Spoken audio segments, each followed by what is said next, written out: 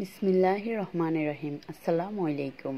সবাইকে স্বাগত জানাচ্ছি নতুন আরও একটি রেসিপি দেখার জন্য। আজকে আমি দেখাবো খুব ঝটপট কীভাবে আলু দিয়ে ডিম দিয়ে রান্না করা যায়, সেটা আমি আপনাদেরকে দেখানোর চেষ্টা করব। তো চলুন, এর জন্য কী কী লাগছে? এর জন্য প্রথমে আমি এখানে নিয়ে নিয়েছি পাঁচটি ডিম, সাথে দিয়ে দিয়েছি হাফ চা চামচ ভিনেগার আর দিয়ে দিয়েছি একটু লবণ। এতে করে ডিমটা খুব ভালোভাবে সিদ্ধ হবে, খোসাটা ভালোভাবে ছাড়িয়ে আসবে। এরপরে চলে আমি আরেকটি অন্য একটি হাঁড়ি বসিয়ে এখানে চার টেবিল চামচ তেল দিয়েছি। দেওয়ার পরে এটার সাথে আমি ডিমগুলো একটু ছুঁড়ে দিয়ে একটু কেটে কেটে এটাকে ডিমটা আমি ভেজে নিচ্ছি একটু লবণ দিয়ে।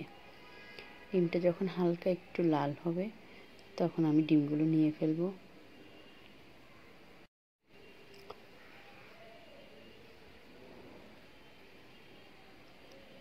এরপর এটার সাথে দিয়ে দিচ্ছি আমি একটু পেঁয়াজ আর কাঁচামরিচ একসাথে ব্লেন্ড করে রেখেছি।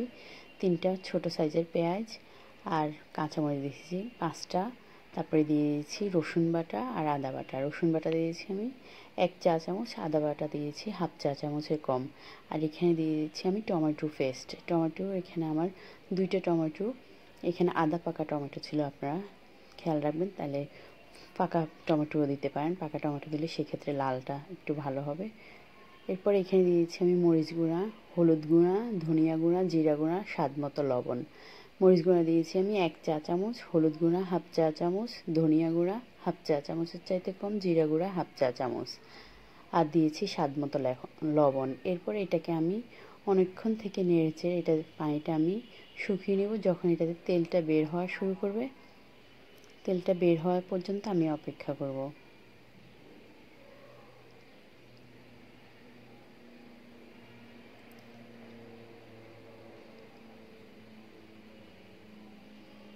এই তরকারিটা আমি ঝাল, একটু ঝাল ঝাল হবে এরকমভাবে রান্না করেছি।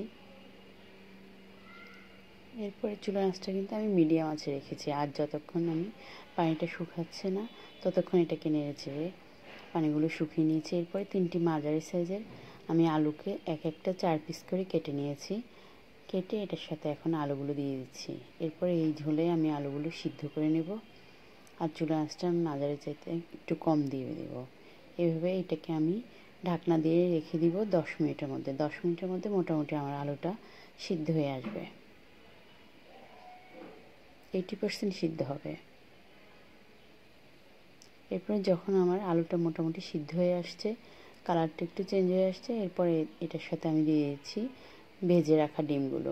ডিমগুলো দিয়ে এটাকে আমি তিন চার মিনিট এভাবে আরও কিছুক্ষণ এটাকে নেড়ে নেব। ডিমটা আলুটা একসাথে কষাবো কিছুক্ষণ।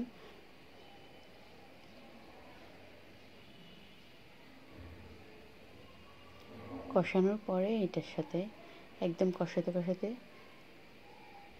যখন আলুটা পুরোপুরি সিদ্ধ হয়ে যাবে, তখন এটার সাথে দিয়ে দেবো আমি এক কাপ পরিমাণ মতো পানি। খুবই কম করে আমি পানি দিয়ে দিচ্ছি দিয়ে এটাকে আমি আবার পাঁচ সাত মিনিটের জন্য ঢাকনা দিয়ে ঢেকে রাখব।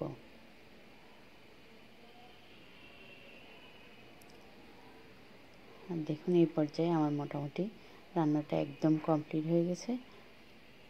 একদম ঝোলটা আমি এরকম মাখা মাখা রাখব। এরপর আমি একটু ধনিয়া পাতা দিয়ে দিব এটার সাথে।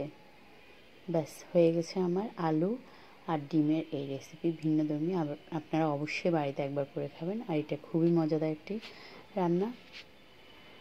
আর আমার ভিডিও যদি ভালো লাগে, অবশ্যই একটা লাইক দিয়ে দিবেন আর চ্যানেলটি অবশ্যই সাবস্ক্রাইব করবেন।